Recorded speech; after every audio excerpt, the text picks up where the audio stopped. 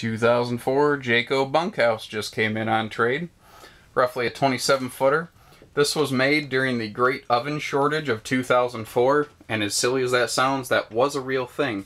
In 2004, Atwood was pretty much the only company that made ovens for campers.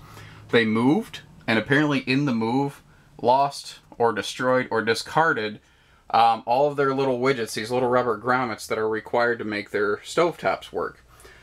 Well, they pretty much didn't have any ovens in campers for most of the 2004 season. Um, so uh, this is one of the few that was made during that time. Just kind of an interesting story to go with it. This is uh, a rear bunk and a half model, so this will sleep six to nine, depending on if you want to fold the dinette the so and the sofa down, and also how big your uh, your guests are going to be.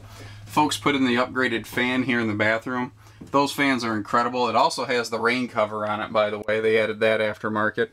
Little nice things like the uh, hardwood door covers on the refrigerator here. Nice little touches.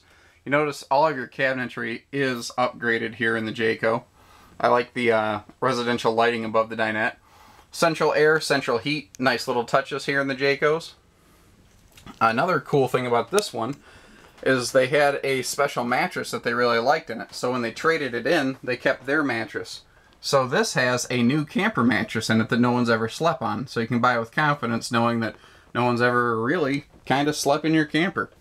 So give us a call, 800-256-5196. Haylett Auto and RV of Coldwater, Michigan.